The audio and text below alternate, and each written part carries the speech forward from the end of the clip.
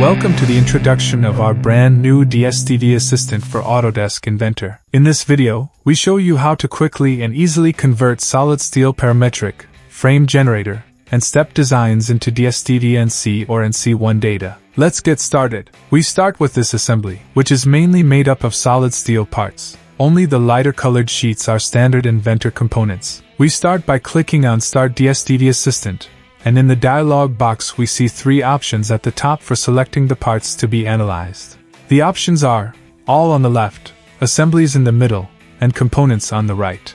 We stick with All because we want to analyze everything before exporting it as DSTV NC files.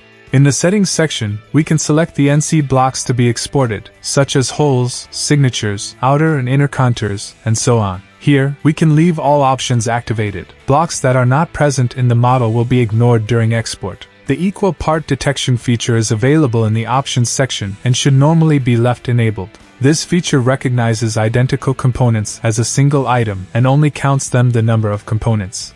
Clicking Analyze starts the process. Here are the results of the analysis.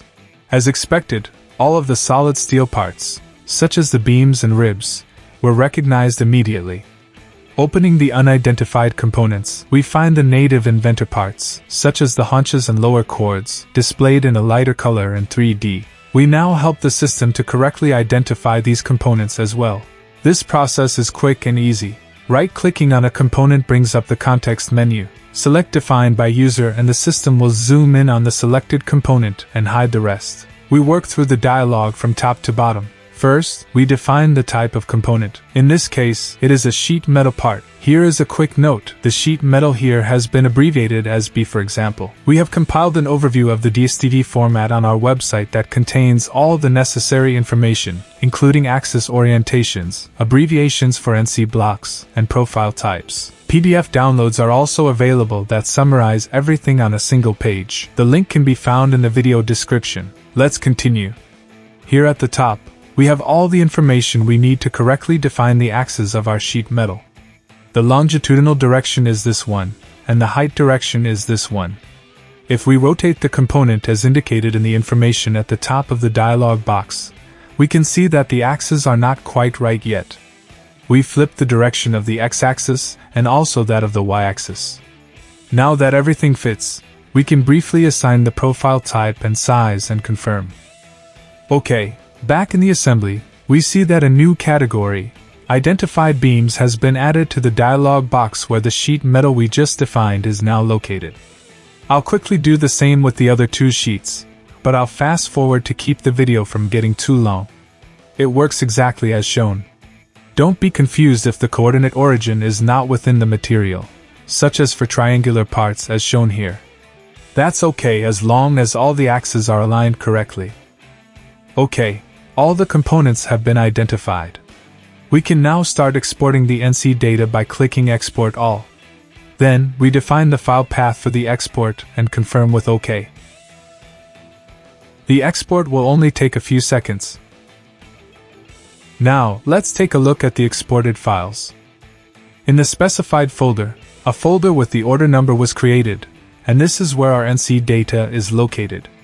Let's open this HEA240i profile and take a look at the preview. As you can see, the profile type with all dimensions and length has been exported correctly. Based on the machining operations, in this case the bore holes, we can also see that this beam is the column of the assembly. Alright, let's move on to our second example.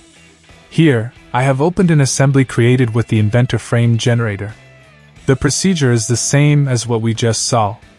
We start the analysis by selecting Start DSTV Assistant, leaving all NC blocks and the equal part detection activated, and click Analyze. Here are the results. As you can see, all profiles have been recognized and are listed sorted by INL profiles. We start the export and specify a file path again. The exported NC files are located in the target folder. In the preview, we can see that this profile has also been exported correctly. There was no machining in the model, so it is not present here either. In the next example, we will look at a step file. For this purpose, I created an empty assembly because the DSTV Assistant works at the assembly level. Then, I import the step file of an I-beam. There is some machining here in the form of a double-sided cope cut at one end of the profile. I switch to the DSTV Assistant tab and the next steps are the same as before. We could skip the equal part detection for a single component, but it doesn't hurt to leave it enabled. Here is the result. The beam was correctly identified. We start the export again with export all and specify the storage path. We open the exported NC file. And as we can see, the export, including the machining, was successful as well. To learn more and to download the free express version of the DSTV Assistant, please visit our website. If you would like to learn more about SolidSteel parametric, our solution for steel design with Autodesk Inventor, please watch the video suggested here. Thank you for watching, and see you next time.